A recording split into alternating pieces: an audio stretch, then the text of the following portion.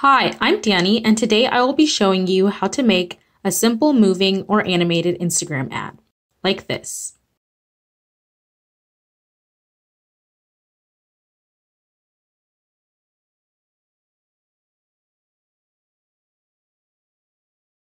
I've been seeing these all over Instagram, whether as an image, GIF, or full video, and either on a brand's account or as paid promotions.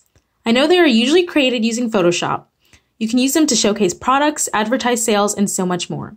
This tutorial will show you how to easily create your own GIF style ad on PowerPoint without sacrificing quality, time, or money.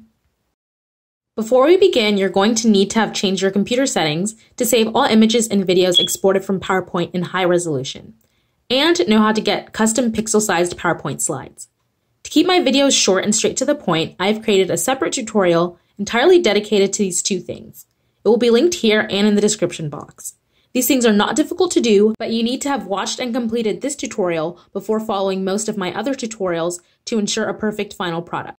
You'll also need to have basic PowerPoint animations knowledge. With that being said, first you're going to resize your slide according to the exact dimensions provided by the converter. Again, all of this is explained in my other video. Open the Excel file, and the resolution we'll need is the standard size for Instagram files, which is 1080 by 1080 pixels. Once we get the correct measurements based on your DPI, open PowerPoint, click on Design, Slide Size, Custom Slide Size, and input the width and height provided. Click OK, and if it asks you if you want to maximize or ensure the fit of your content, always choose Maximize.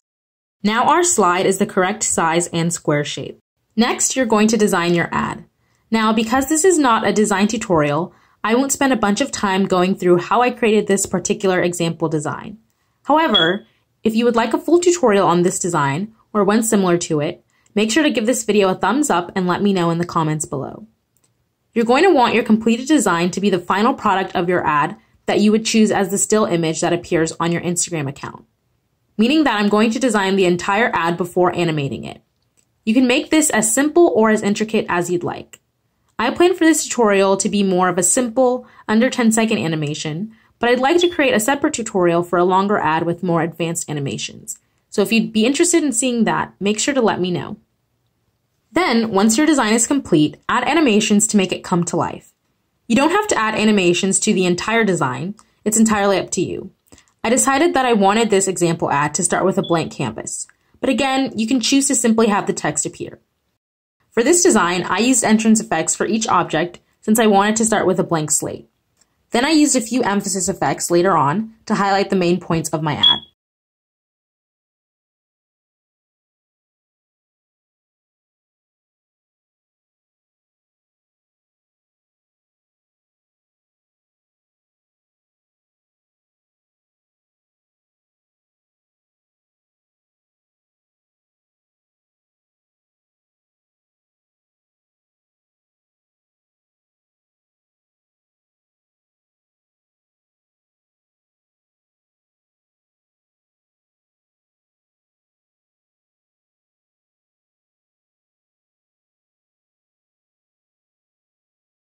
Some quick tips while animating your ad would be to avoid using too many exciting entrance effects. The simpler the better. This is because you have a few seconds to capture the attention of your audience, so each animation should occur quickly in succession.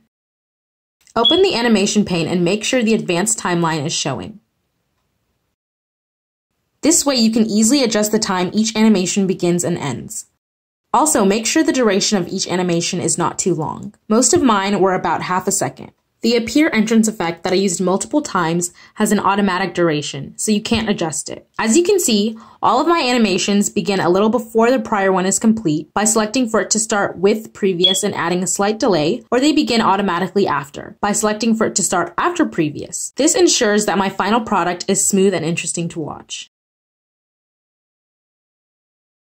Lastly, save and share your moving ad. Go to File, Export, Create a Video. Don't try to save it as a GIF file because PowerPoint will save it as a still image.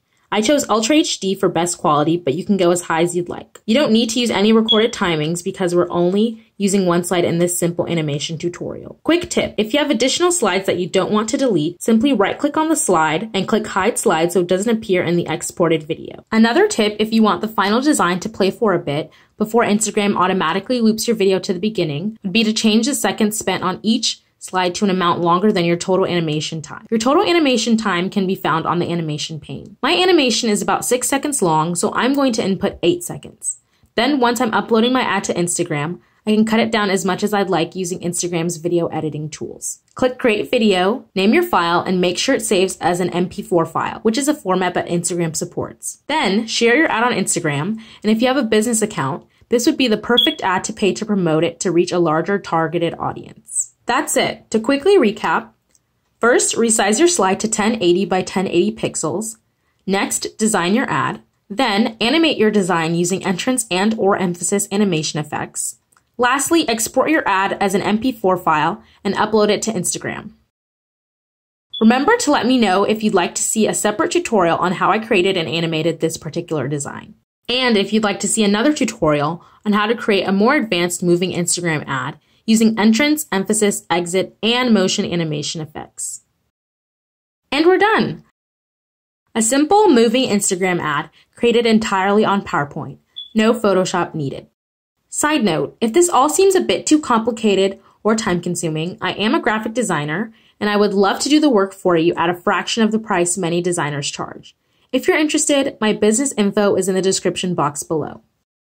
Thanks for watching! I've included a lot more information in the description box, so be sure to check that out. Please give this video a thumbs up to let me know it was helpful. Comment any suggestions you may have for future tutorials. I love a challenge. And let me know if you have any questions. I'll make sure to respond.